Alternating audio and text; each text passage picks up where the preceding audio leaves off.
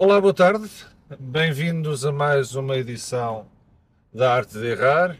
Hoje é com muito orgulho e entusiasmo que apresentamos a primeira mulher. Chama-se Isabel Ricardo Freitas. A Isabel é uma das mandas-chuvas do IKEA nas Arábias. Tem a responsabilidade de Kuwait, Jordânia E Marrocos. e Marrocos. Tem feito um trabalho notável por lá, numa zona onde as mulheres, epá, dizem as más línguas, não são muito consideradas. A Isabel depois vai, vai mostrar que não é bem assim. E deve estar a fazer, com certeza, um trabalho notável, porque vai para 10 anos, não quer sair de lá. A malta do IKEA também não quer que ela saia Acho- também acho o mesmo. também acham mesmo.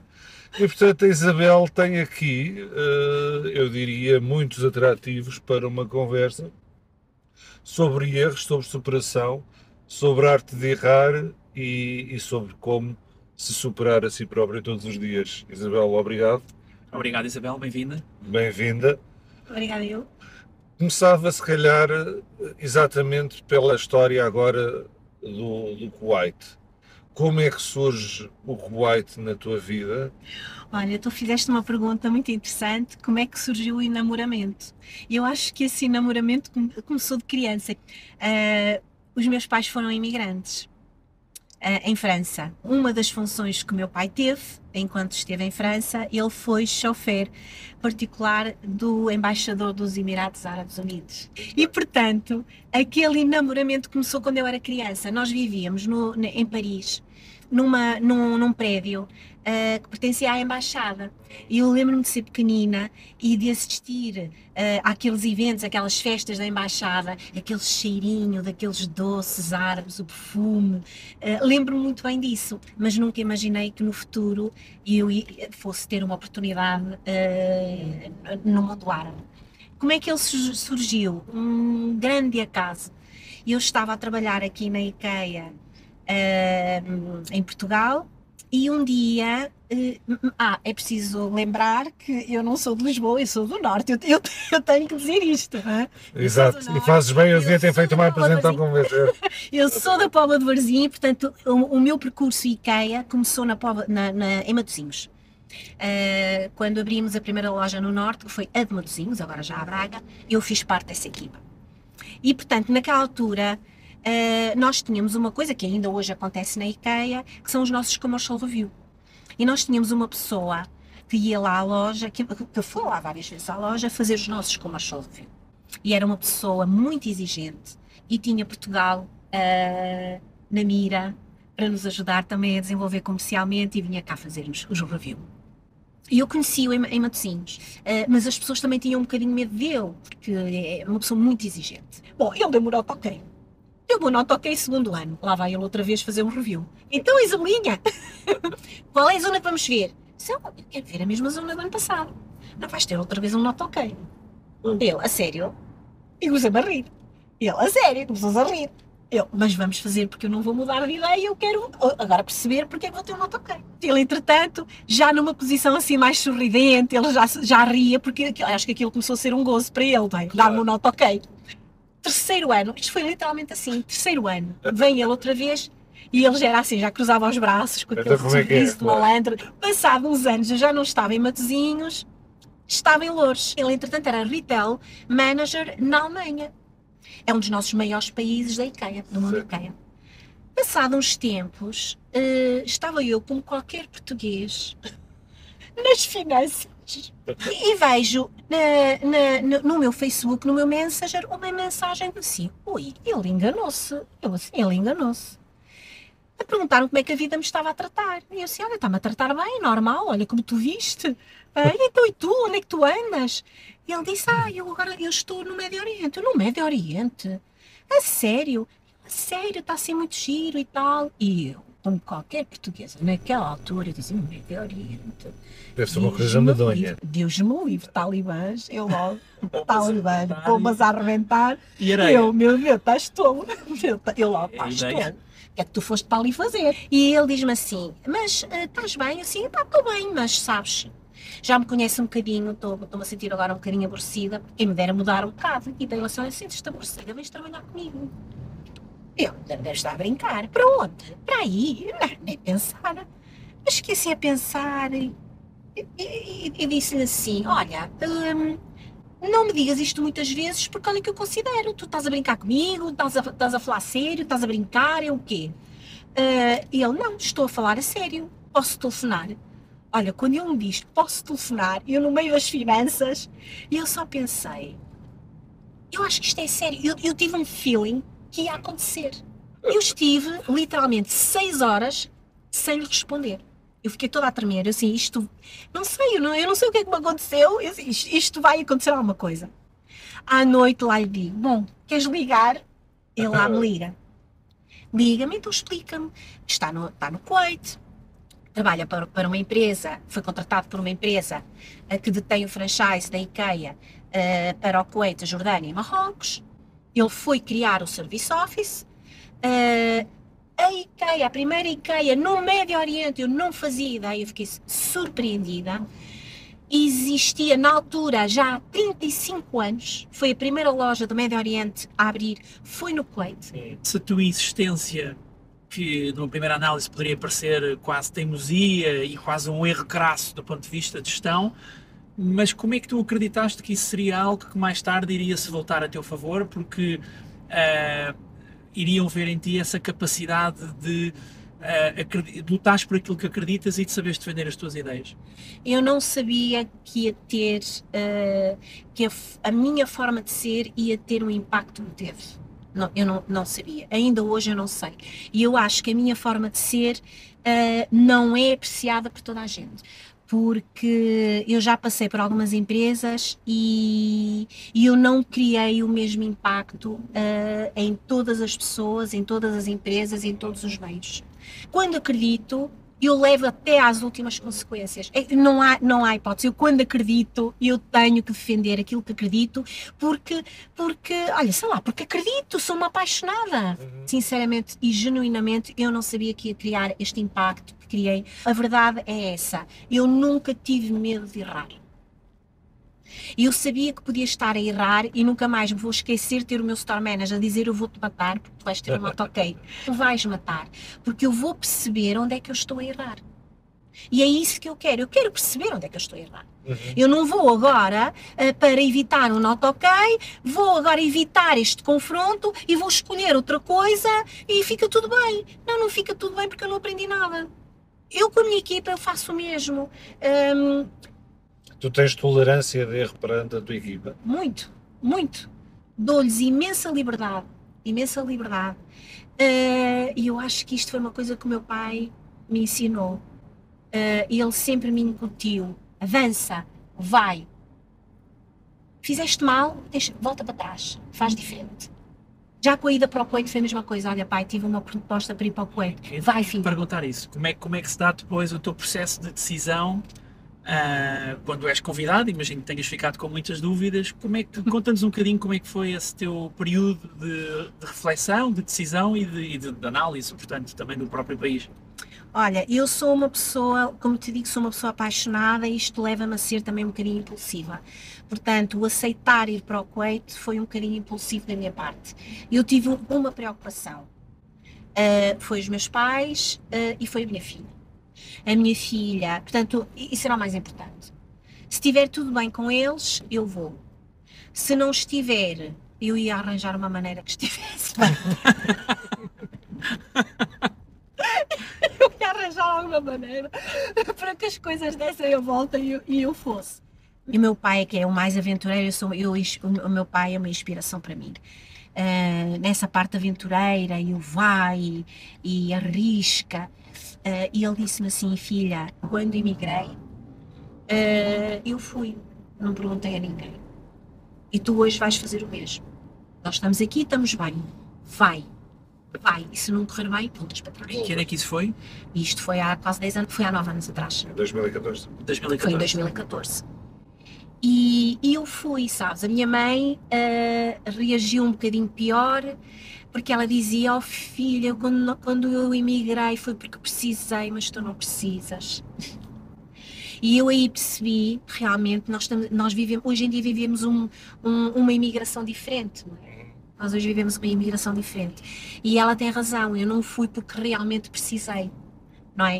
Uh, mas isso também me deu um, uma paz diferente. Tu também pegaste um bocadinho este espírito aventureiro do teu pai, que tem aquela, aquele regresso épico a Portugal para numa altura completamente improvável. Sim, é verdade. Sim, os meus pais foram imigrantes e eu tinha, portanto, eu voltei isto porque o Francisco me perguntou quando é que eu voltei para Portugal. Eu nasci em França, o meu irmão também, e eu voltei para Portugal. Voltei, não, vim para, vim para Portugal, tinha eu sete anos de idade. Foi quando eu comecei a entrar na quando tinha que ir para a escola primária. E os meus pais, uh, pode-se considerar que resolveram voltar para Portugal na melhor fase da vida deles, em França. Um, e toda a gente dizia ao oh, Álvaro, tu és maluco, vais agora para a França, para, para, voltas agora para Portugal no ano do 25 de Abril. Portanto, deu-se o 25 de Abril em Abril e eu e a minha mãe e o meu irmão viemos em, em Maio, um mês depois. Porquê? Porque o meu pai começou a pensar, eu se não vou agora para Portugal, quando a Isabelinha vai, portanto agora que ela vai para a escola primária, uh, se eu não volto agora a Portugal, eu nunca mais volto porque ela faz aqui a escola, ela faz depois a universidade e começa a trabalhar e depois casa e filhos e, e nunca mais volta a Portugal. E ele não queria isso, ele não queria ter filhos imigrantes.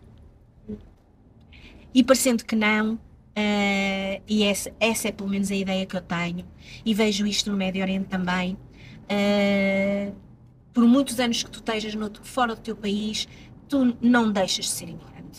Por muito enraizado que estejas no teu país mas tu já estás naquela fase de não, não te sentes 100% bem no Kuwait porque nunca serás uma pessoa do Kuwait, mas também já não te sentes 100% bem aqui em Portugal porque também já não te sentes bem em Portugal? É, é, é eu não sei de onde, é que, de onde é que sou. Quando as pessoas me perguntam de onde é que tu és? E eu, obviamente que não me sinto do Kuwait, mas sinto que tenho um lar. Sinto que tenho a minha casa no Kuwait mas depois é muito difícil eu, eu, eu, dizer de onde é que eu sou, eu não sei de onde é que eu sou. Porquê? Porque a minha mãe é daqui de Torres Vedras, o meu pai é da Póvoa, e eu genuinamente, e a minha, a minha personalidade, uh, de acordo com a personalidade que eu tenho, eu digo, eu sou do Norte, não é? Eu sou poveira. Eu sou poveira. Mas depois há ali assim uma parte que me diz, ah, mas eu também gosto tanto de Lisboa. depois digo assim, mas Paris diz-me tanto e depois digo assim, e eu adoro o Kuwait. Portanto, eu não sei de onde é que sou, sou um bocadinho de todo lado. Estamos num podcast de erros, e eu imagino que na altura quando tu foste, uh, enfim, quando surgiu esta decisão de ir ou não ir, e sabendo a imagem que nós uh, tínhamos e que ainda de alguma maneira temos enquanto europeus do Médio Oriente, que muitas das pessoas com quem tenhas falado, ou que uma parte daquele da nossa consciência nos diga, epá, estás a cometer um erro e ir vais para um, uma zona diferente, com uma cultura diferente. Como é que tu, como é que tu geriste essas sensações de, por um lado, teres uma vontade que já aqui assumiste de ir, de arriscares, mas por outro, teres a parte mais racional de amigos e de família que se calhar te diziam: é pá, não te metas nisso. Pois, aí é que está, sabes? Uh, o meu avô dizia-me assim: Ó oh filha, tu casa até aos 25 anos, que é enquanto não pensas, depois de pensar já não casas. E foi assim que me aconteceu com o Kuwait. Eu não pensei, portanto não houve a parte racional. Não houve.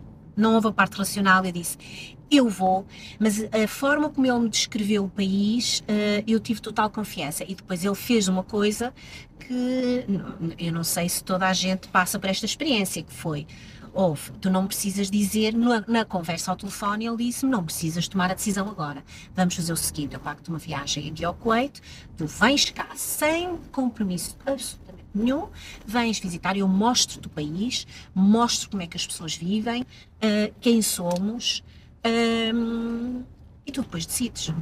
E, confirma, e, assim foi. Confirmaste a tua vontade ou a tua decisão nessa viagem? Ou foi algo que foi conquistando uh, dia após dia? Levou-me horas, horas, a, uh, horas. Até, até, até aterrares, não é? Não, não. Olha, quando aterrei foi uma, foi uma, foi uma experiência, aquilo que eu senti foi muito mal, porque olha, eu aterrei, era julho, estavam, aterrei às quatro da manhã e estavam 47 graus.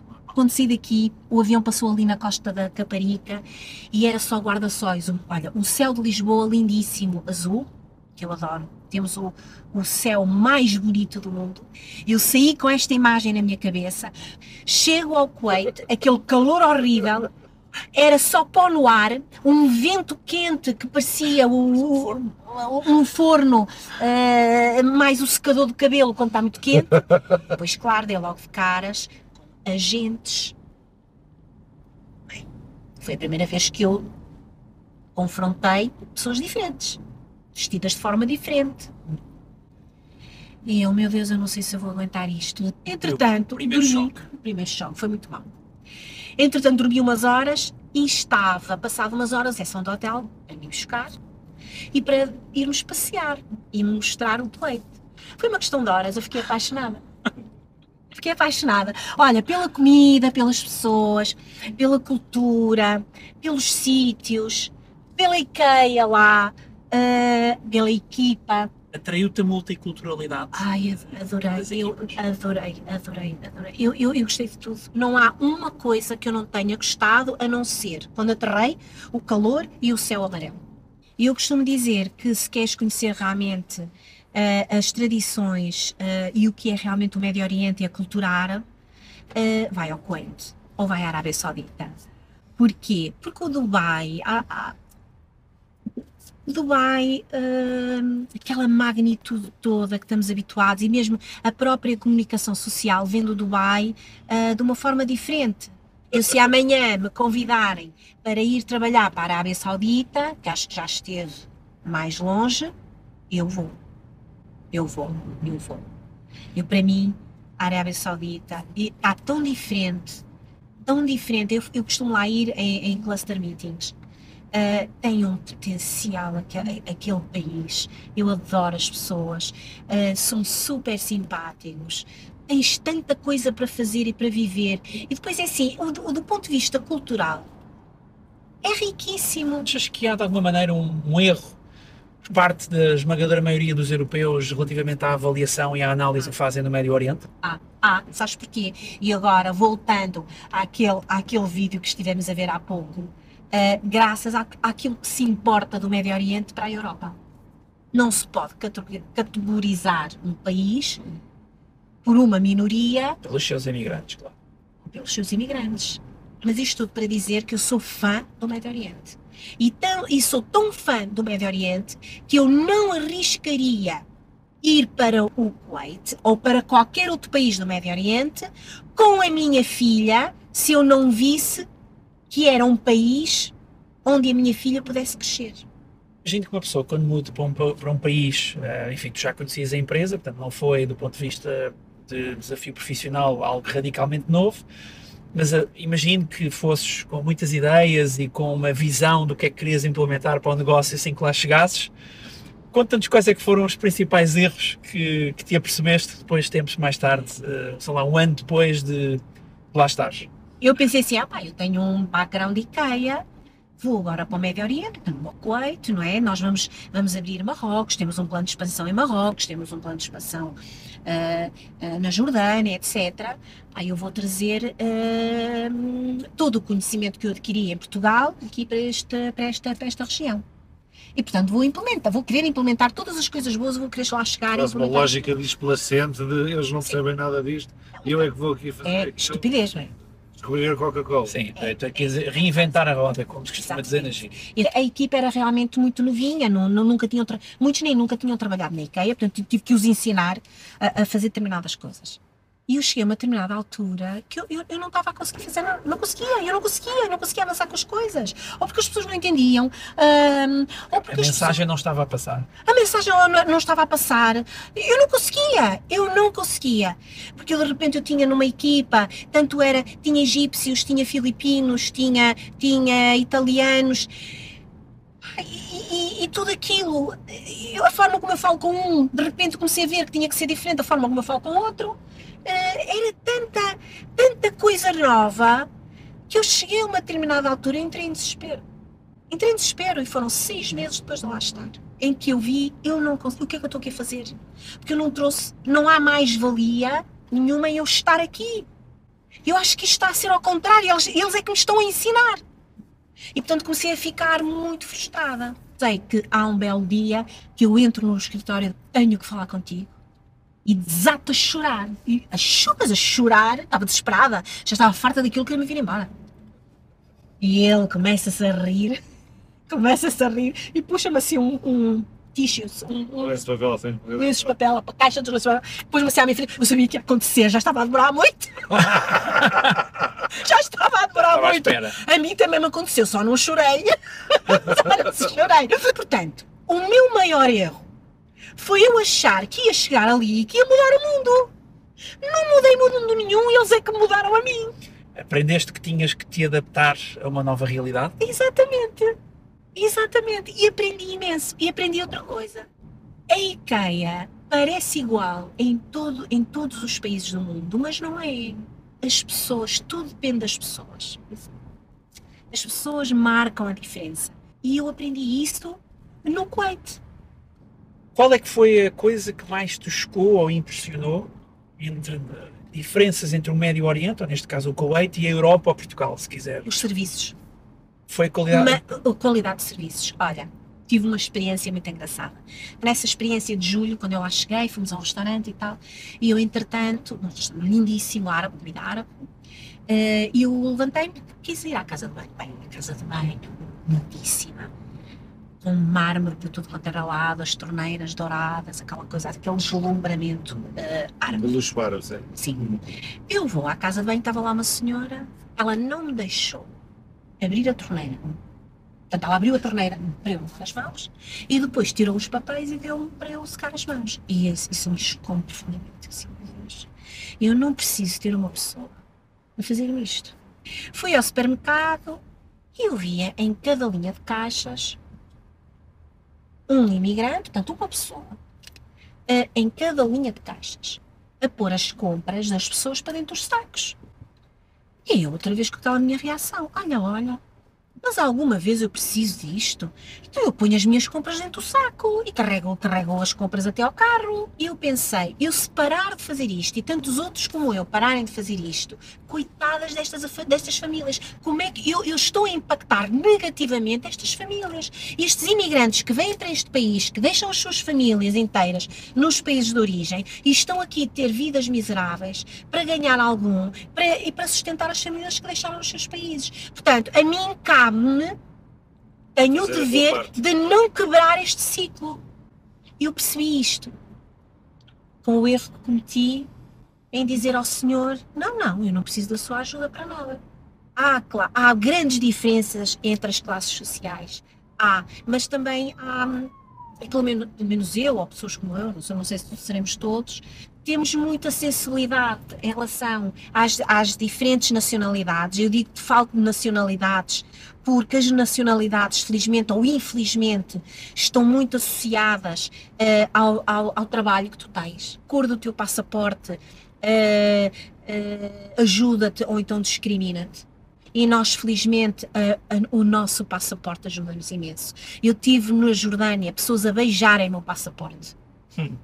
A beijarem o meu passaporte. Ouviste o típico Cristiano Ronaldo, Muitas vezes o Cristiano Ronaldo eh, José Mourinho ainda, é o durante no... alguns tempos. Não, eu ouço muito, vou dizer duas, dois nomes que eu ouço, o Cristiano Ronaldo, Cristiano é universal. eh, mas no Kuwait, eh, às vezes quando precisava apanhar um táxi ou assim, que apanhava algum indiano, basta.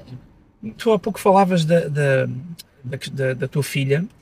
Conta-nos um bocadinho como é que foi, e eu acho que é sempre uma questão que, que divide um bocadinho as pessoas que optam por fazer carreira internacional, ou mais comumente chamados os expatriados, Sim. questão dos filhos. Como é que tu geriste isso e como é que tu hoje, à distância de quase 10 anos, Sim. como é que a tua filha se adaptou, como é que achas que correu e o que é que achas que ganhou com isso? Olha, eu acho que o impacto eh, do Kuwait na Ana Pedro acho que se vai sentir mais tarde, de forma positiva.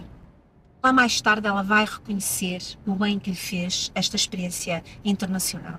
E porquê mais tarde? Porque neste momento ela ainda sofre eh, das memórias que tem de quando lá chegou.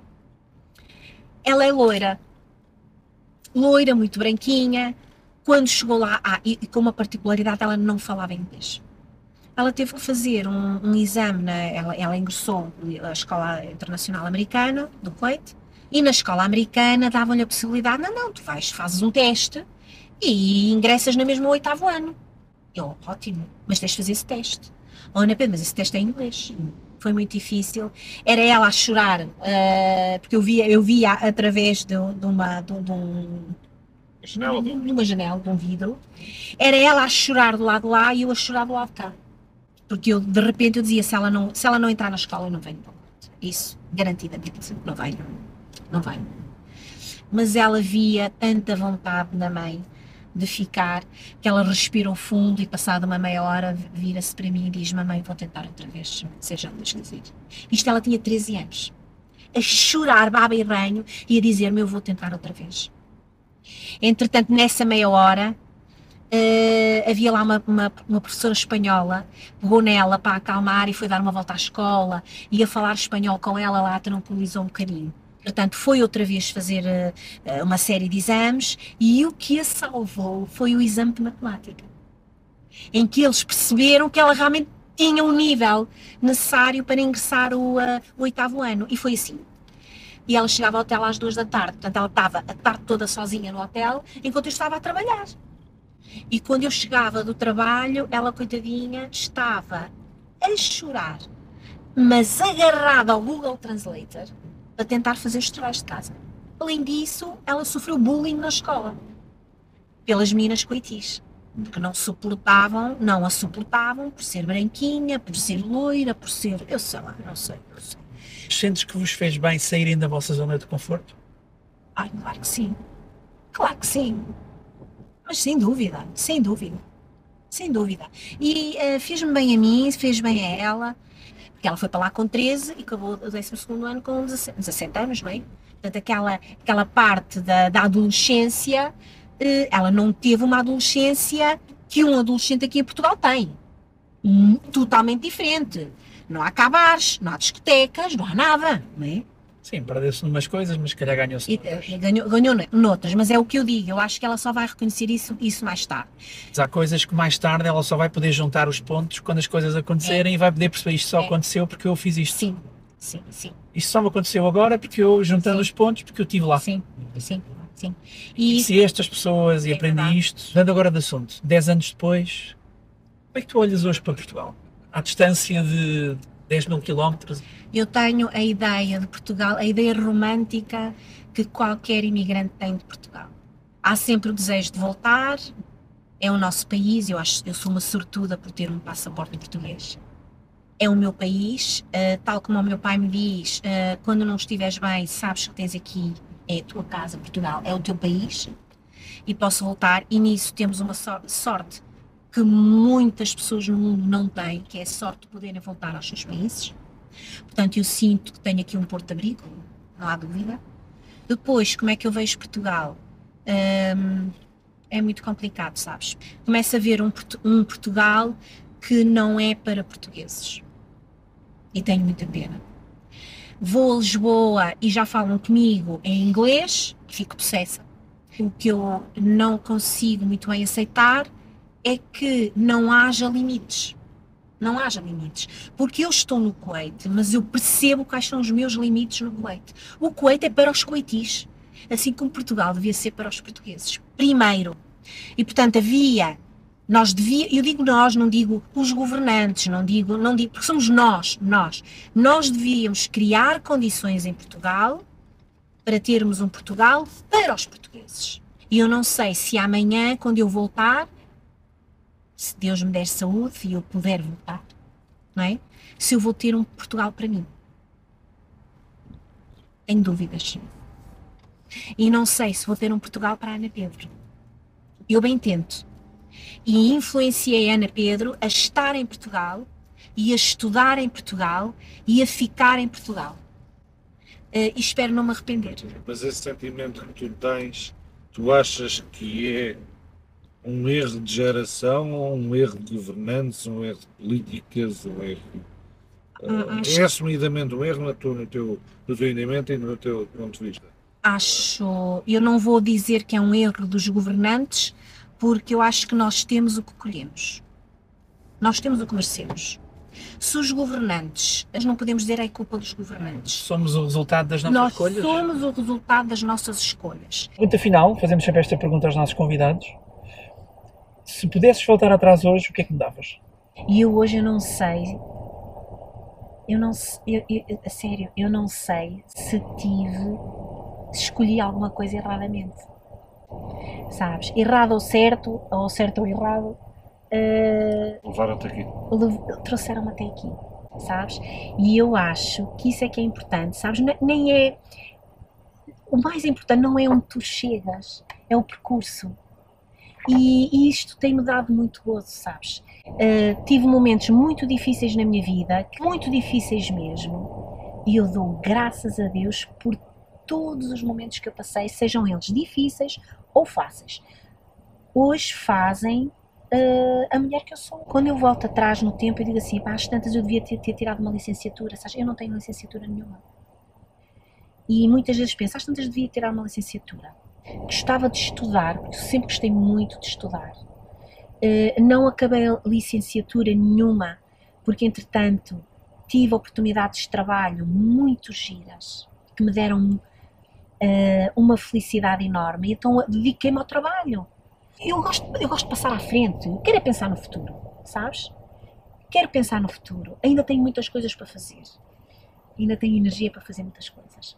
Ficámos eh, com certeza com muito mais para dizer. Há de haver outro podcast no futuro com as novas novidades e as novas evoluções das muitas vidas de Isabel. Saímos de Portugal hoje, foi um podcast do mundo. Obrigado, Isabel. Obrigado, Isabel. Obrigada eu. E sigam-nos nas nossas plataformas habituais. Facebook, LinkedIn, Instagram e não se esqueçam de nos subscrever gratuitamente no YouTube para estarem sempre a par das nossas novidades e E that's it. Não, não parte. Spotify. estamos também no obrigado, Apple Podcasts, Sim. Spotify e Google Podcasts, portanto em todas as plataformas de streaming de podcasts. E muito it. obrigado por terem assistido. Obrigado Isabel mais uma Obrigada. vez. Obrigado, Isabel. E fiquem atentos para mais novidades. Até já. Obrigada. Até já. Adeus. Obrigada.